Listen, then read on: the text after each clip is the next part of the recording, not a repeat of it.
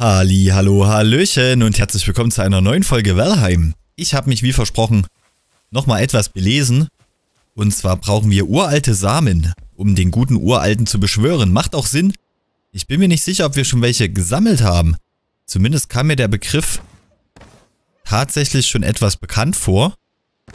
Deswegen lasst uns mal fix die Kisten durchschauen. Ob wir das schon mal eingesammelt haben.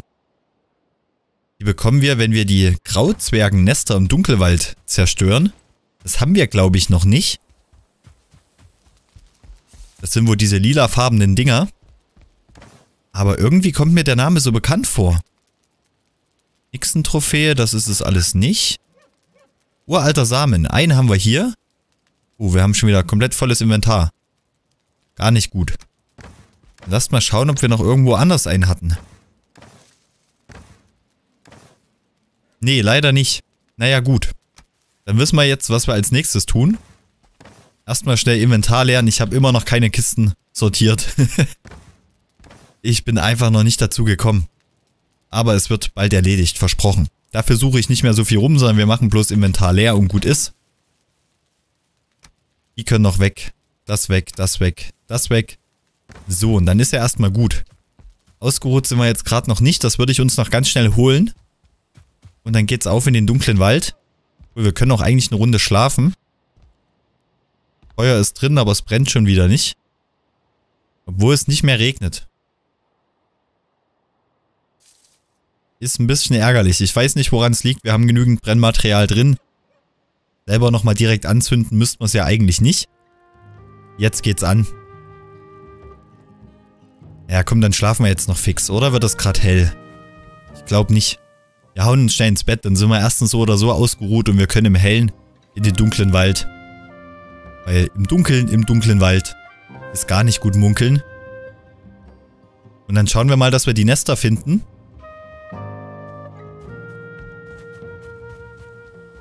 Wir hauen uns hier gleich Eiktür ran, dass es schnell geht. Essenstechnisch hoch. Man sollte nicht die beiden Tasten gleichzeitig drücken. Ich glaube, ihr habt es nicht gesehen, aber bei mir ging das Steam-Menü oder so auf. Irgendwas davon. Ja, wir sind, na doch, so ist okay mit der Ausdauer. Und dann einmal straight in die Richtung. Zwei Stück brauchen wir noch. Dass wir das auf jeden Fall die Folge schaffen, dass wir die Samen zusammen haben. Wir uns dann spätestens in der nächsten Folge auf den Weg machen können. Ich dachte halt wirklich die ganze Zeit, wir brauchen Trophäen. Aber das war anscheinend nur bei Eiktür so. Oder vielleicht dann auch noch bei den nächsten Endbossen. Aber bei dem zweiten auf jeden Fall nicht. So, noch ein kleines Stück rechts, weil hier war auf jeden Fall am Wasser diese Grauzwergenarmee. Würde ich es jetzt einfach mal nennen. Zumindest sah das aus, als hätten die dort ihre Base. Und wir haben hier noch eine ganze Menge Kupfer, aber das haben wir uns schon markiert.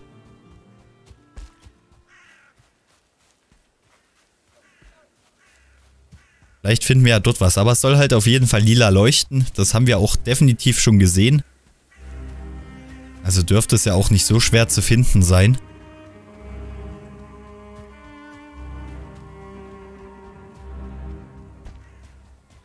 Aber wie es immer so ist, das was man sucht, findet man nicht. Man findet es erst, wenn man es nicht mehr sucht. Wir rennen jetzt hier einfach mal durch. Lassen alles andere links liegen. Was haben wir hier noch schönes? Auch noch Kupfer. Müssen wir uns noch schnell markieren.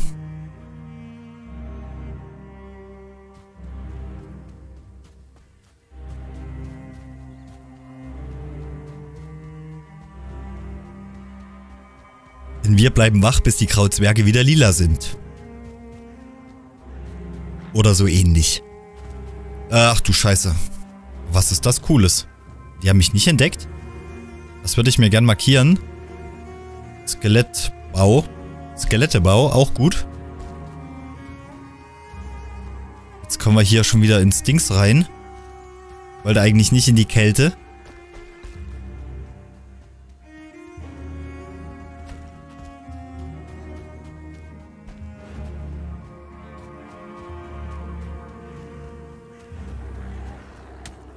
Ach komm. Aber wir haben ja jetzt glücklicherweise das Schwert.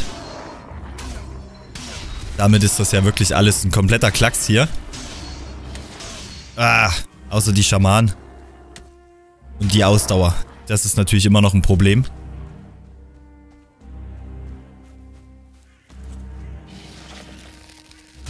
Ich möchte erstmal kurz den Schaman tot prügeln. Scheiß auf den Schaden, den wir jetzt kriegen.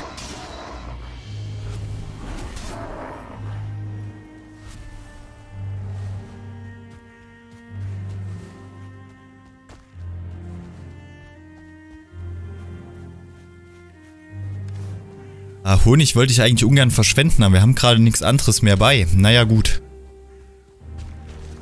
Hätte ich mal doch die Pilze nicht wegpacken sollen, aber wir haben ja eigentlich auch ewig viele gelbe Pilze, aber die habe ich halt alle aus dem Inventar geschmissen.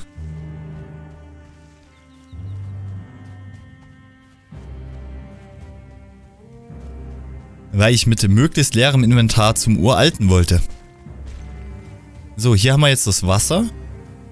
Da hinten ist bloß ein Hirsch. Und hier drüben dann... Du schaffst das. Oder auch nicht. Hier haben wir noch überall Zinn liegen am Wasser, okay. Würde ich mir jetzt einfach mal versuchen zu merken. Und wer mich kennt, der weiß, das wird eh nix.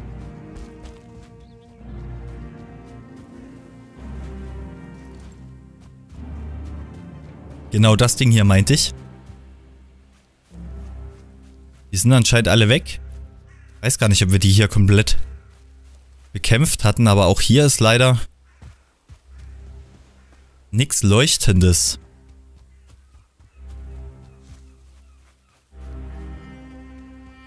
Weil in den Dungeons selber kann es ja nicht sein. Aber es sind ja bloß Skelette drin und da finden wir ja dort den hier leuchtendes Zeug. Oh cool, wir haben den Pilz.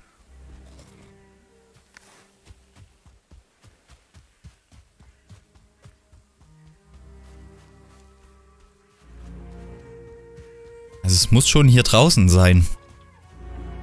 Noch ein Dungeon. Boah. Dein Schild hat aber gefunkelt.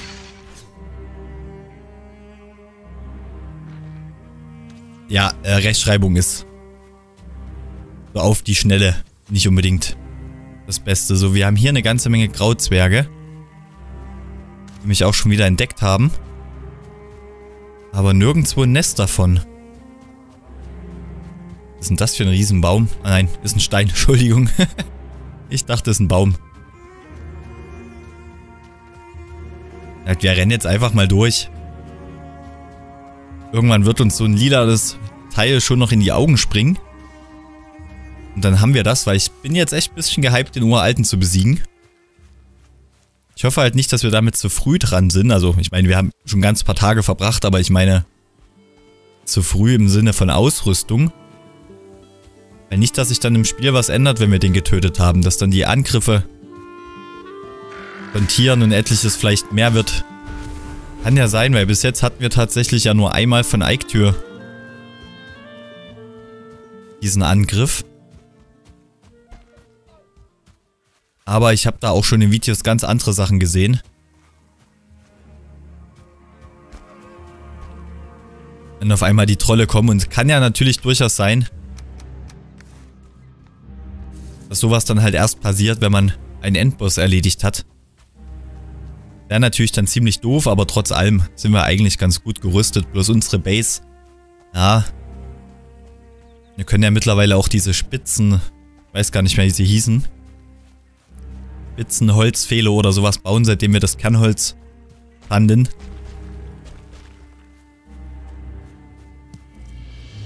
Wäre vielleicht nochmal eine Überlegung wert, davon noch eine Umrandung drüber zu ziehen. Oder drumherum zu bauen, besser gesagt. Ich glaube, die machen dann auch Schaden. Die stehen dann, glaube ich, so schräg da. Ihr könnt euch das schon vorstellen. Uh, ui, ui. Kupfer ohne Ende. Ich lasse es jetzt trotzdem erstmal unmarkiert. Weil Kupfer werde ich de definitiv jetzt demnächst mal außerhalb des Let's Plays sammeln. Guck mal, hier haben wir noch einen Dungeon. Haben die mich schon entdeckt? Ne, die gehen auf den Hirsch los. Armer Hirsch. Beim sind Skelette, die essen dich sowieso... Ah, wir haben was Lilanes. Die essen den noch sowieso nicht. Die töten den nur aus reiner Lust.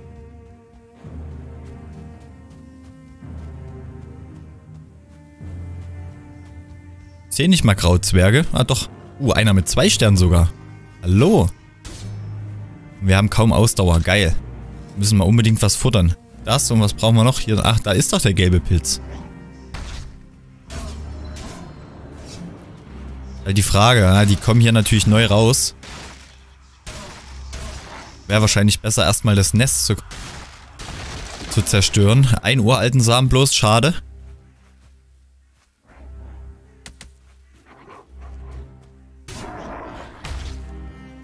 Hat der was Spezielles fallen lassen? Holz? Dreimal Harz? Stein? Holz? Rauzwergenauge. Nö, leider nicht. Wäre ja eigentlich mal nett gewesen. So ein Zwei-Sterne-Typ. Hätte auch ruhig mal ein bisschen mehr droppen lassen können. Aber okay, wir haben schon eins, das geht. Hälfte der Folge ist rum. Noch ein Dungeon. Wahnsinn. ist ja echt heftig, wie viel es davon gibt.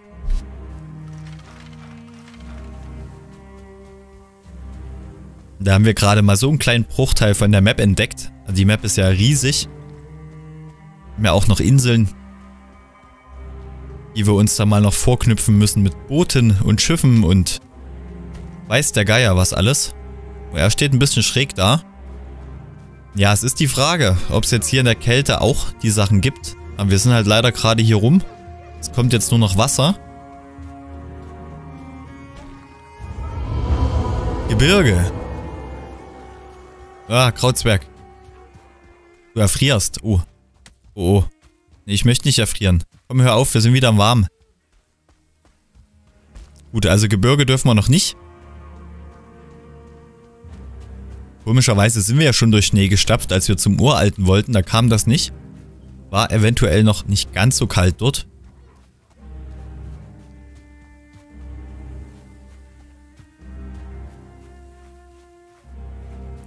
Leider nirgendwo etwas Lilanes. Können wir wieder... Oh, wir sind wieder im Grasland, ne? Da möchte ich nicht hin. Das müssen wir mal schauen. Hier kommen wir nicht weiter, hier ist Gebirge. Wir müssen hier ganz runter. Weil das haben wir alles schon entdeckt. Äh, nein. Oder hier kommt noch dunkler Wald dann, oder? Wir gucken mal hier hinten lang. Dass wir jetzt nicht einmal komplett wieder den ganzen Weg zurück müssen. Hier haben wir noch eine Hütte. Lasst mich nochmal eben schnell reinschauen. Ja, wir haben noch einen Bienenstock. Dann müssen wir vorher die Krautzwerge töten. Den muss ich mitnehmen, da können wir nicht dran vorbeirennen. Ah, ich denke, das könnt ihr nachvollziehen. Ah, zumindest haben wir jetzt schon mal zwei uralte Samen. Einen brauchen wir noch. Und dann geht's ja weiter. Ja, ich muss sagen, das Spiel macht von Sekunde zu Sekunde mehr Spaß. Der Anfang war ein bisschen zäh, das gebe ich zu. Aber das ist halt bei so einem Survival-Spiel meistens so, weil man halt am Anfang einfach nichts hat und sich erstmal kümmern muss, ein bisschen ausgerüstet zu sein. Aber jetzt, was alles noch so kommt, das Gebirge mit Kälte, die Endbosse, die ganzen Dungeons, der dunkle Wald, alles drum und dran. Ja, gib mir deine Bienenkönigin, danke. War ja noch eine Truhe drin? Nee, ne? Muss ich nochmal kurz gucken. Nö. Ja, und alles, was halt noch so dazugekommen ist und da kommt noch so viel mehr. Ich muss wirklich sagen, ich kann nachvollziehen, warum es so ein Hit geworden ist auf Steam.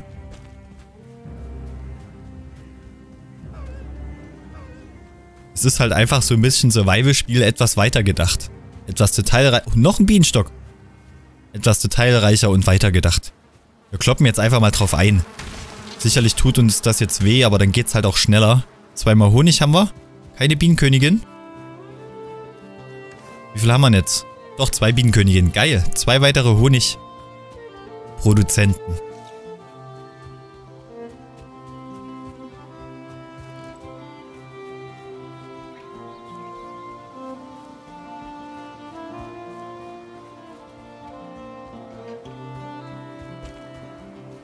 Wenn wir dann irgendwann den Händler noch finden und uns noch coole Accessoires gönnen, dann wird es auch nochmal auch nochmal um einiges geiler.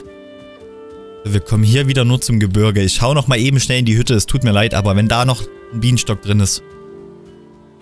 Wohl, ein bisschen klein für einen Bienenstock. War bloß die Futterstelle. Für die Zucht hier. Wow. Wildschweinparadies. Eigentlich ganz schnell hier einen Zaun drumherum basteln und einfach das als Schweinefarm nehmen. Wäre eigentlich auch ein geiler Standort hier für eine Base. Mit dem Gebirge dahinter. Hier ist schön viel Platz. Könnte man alles gut ebnen. Das muss ich mir mal markieren. Äh, Standort Base. Ja, oder Bass. Standort für Bass.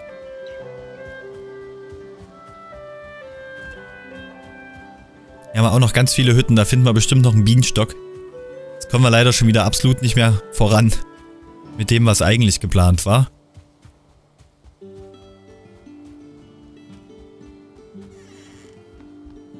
Ne, hier ist keiner drin. War, waren wir hier schon? Ich glaube, wir waren hier schon.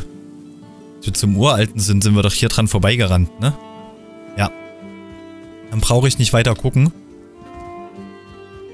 Geht's doch etwas schneller wieder weiter.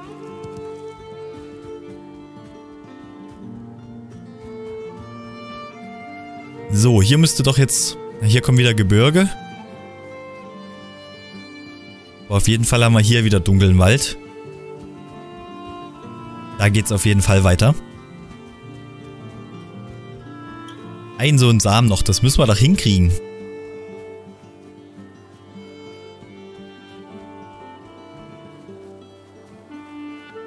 Die Frage, ob man vielleicht doch lieber im Dunkeln auf die Suche gegangen wäre, weil man es dann besser leuchten sieht. Aber an sich haben wir es ja so auch ganz gut gesehen. Ist halt die Frage, ob das viel ausgemacht hätte. So, dunkler Wald. Folge ist bald zu Ende. Ich hoffe, wir schaffen es noch. Ja, lass mich in Ruhe. Ich möchte hier gar nichts Böses.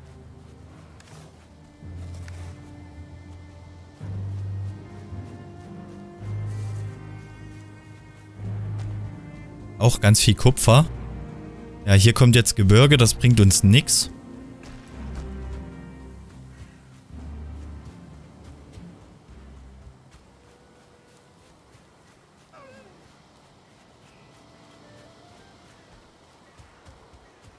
Ist halt doch seltener, als ich dachte. Hatte so ein Gefühl, dass wir schon ganz viel davon gesehen haben.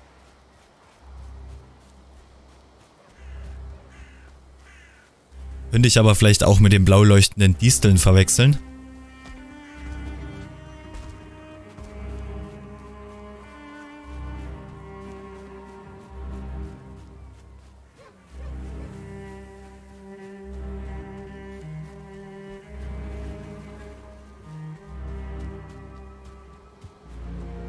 ist auch alles... Ne, das ist kein Kupfer. Hm. Schade.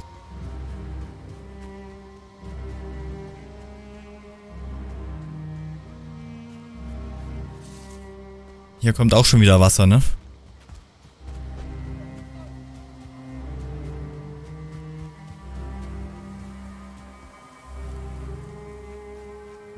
Die Dinger meinte ich.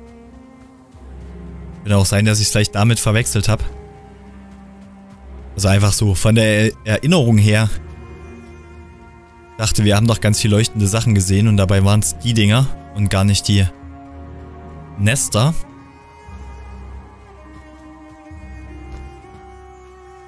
Also Grauzwergen gibt es ohne Ende, aber so viele Nester haben die leider nicht. Ja, jawohl, wir haben es geschafft. Ich fasse es nicht. Und das eine halbe Minute vor Folgenende. Danke, liebes Spiel. So, jetzt hier ganz schnell.